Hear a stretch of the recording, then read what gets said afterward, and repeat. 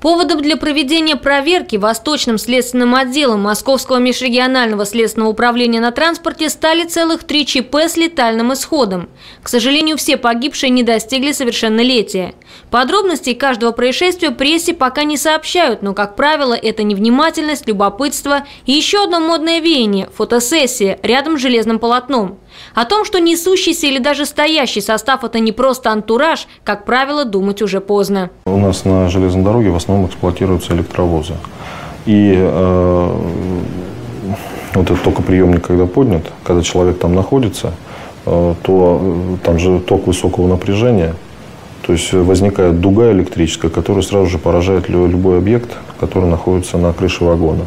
Только с начала этого года областная транспортная прокуратура зафиксировала 38 случаев травмирования граждан на железных дорогах, 22 из которых закончились летальным исходом. Часто люди просто идут по шпалам или переходят их в непредусмотренных для этого местах.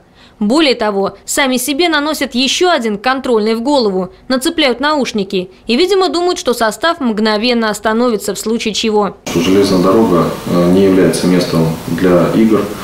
А, то, что при нахождении вблизи железнодорожного полотна, рядом с железнодорожным транспортом следует проявлять особую бдительность, внимание, а, детей не отпускать а, без присмотра, э, контролировать их поведение, переходить э, железную дорогу только в установленных местах.